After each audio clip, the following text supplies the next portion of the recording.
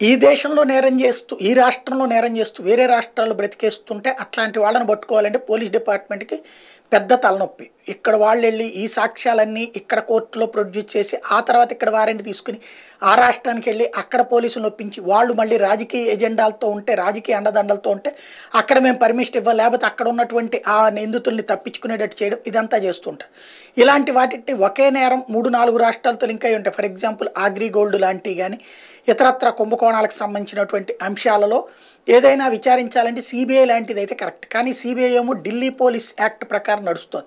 దీంతో దానికి పర్మిషన్ ప్రతి ఏడాది రెన్యువల్ చేసుకోవాలి. గతంలో చేసేటువంటి వాళ్ళు చంద్రబాబు నాయుడు సూచించినటువంటి బాటలో సిబిఐకి రెన్యువల్ని రద్దు చేస్తూ వస్తున్నటువంటి పరిస్థితి. అట్లా జరిగితే దేశంలో అవినీతి ఎవరికి వాడు కాపాడుకునేటువంటి పరిస్థితి అవుతుంది.